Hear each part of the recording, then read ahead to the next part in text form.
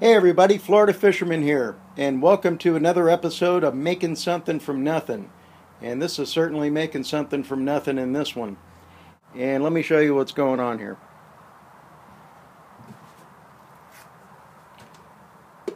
This is the shell from a dryer uh, that's laying over in the scrap pile. So I took the angle grinder and I cut me a circle to, to fit this thing, and then just, you know, tack brazed it on and what I've got on the inside so far is I've got some uh, Kaowool mounted, and I use sodium silicate on the bottom, uh, basically a fireproof adhesive, and that's what's going to secure the, uh, the wool in. I went ahead and popped the hole for the burner to go in, and now I need to line the outside with uh, some wool, and I've got that right over here. So basically I'm going to make a mini furnace for melting uh, higher temperature metals like brass and copper. Might even try some cast iron in it. We'll see. But as you can see, it's not much now, but it will be when I'm done.